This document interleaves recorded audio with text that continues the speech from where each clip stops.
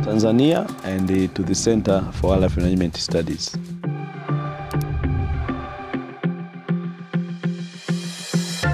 In a classroom, you can learn about all the things that you want. But here, we are engaged in really strict critical thinking, and we are given current day problems, and we are asked to find solutions for those problems.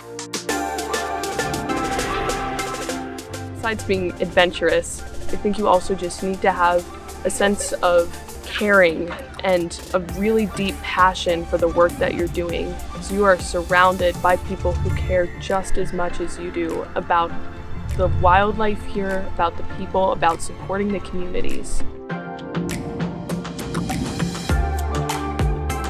We can use science really to resolve and try to encourage coexistence between wildlife and the people.